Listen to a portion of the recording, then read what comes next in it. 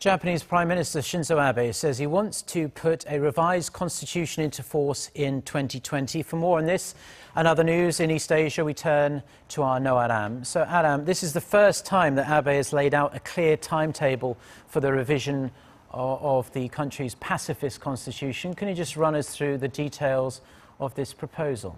Yes, Mark, the Japanese Prime Minister said acknowledging the existence of the country's self-defense forces should be done now to finally end all doubt about its legality.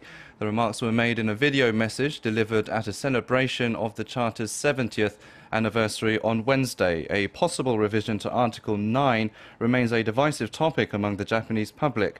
It calls for the complete renunciation of war and cements Japan's post-war identity.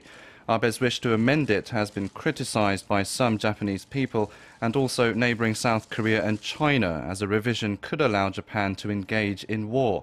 However, Abe has previously, previously said he wants to maintain the philosophy of pacifism and only change Article 9 to mention the SDF's existence.